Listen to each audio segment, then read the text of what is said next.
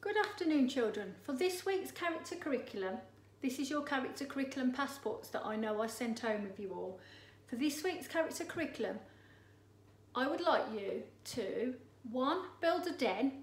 You can use anything, you can use old material, you can use sheets, blankets, you can put two chairs together and throw blankets over it. Be as creative as you want to.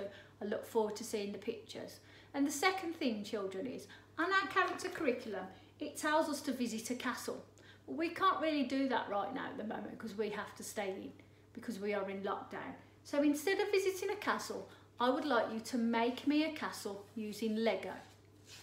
Be creative, make it as tall as you can. If you don't have Lego, have you got any other bricks that you can do it with?